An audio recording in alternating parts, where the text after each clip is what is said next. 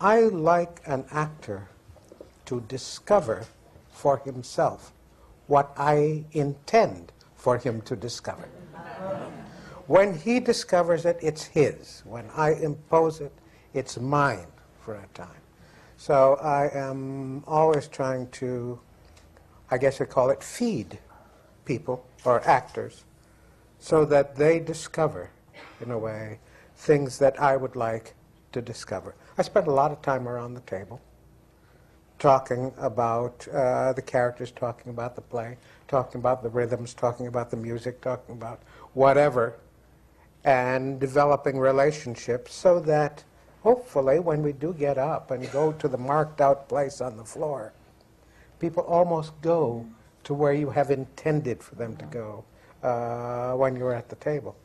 So it's, uh, I guess, one might call it uh, uh, the the quiet type of uh, direction. It suits me, you know, and it uh, to create an atmosphere in a room that is comfortable and productive and provocative at the same time, but uh, comfortable where people can be wrong, where I can be wrong, and nobody has risked any great thing or lost any great thing. That's only on the way of discovering what is right. How is that resolved when one is wrong?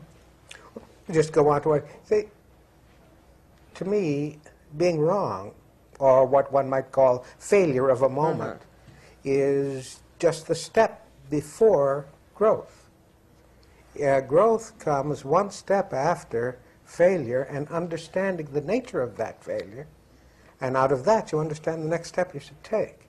So it is uh, really experiencing the fact examining the fact and taking the next step.